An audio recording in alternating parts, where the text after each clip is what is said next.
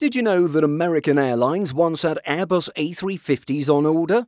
It was an order that would be cancelled by 2018. But what's the story behind it?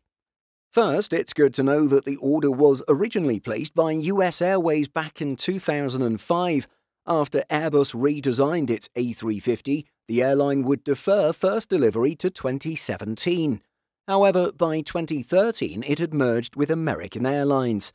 Thus, when Boeing Heavy American Airlines looked at the Airbus Heavy order book of US Airways, there was a mismatch.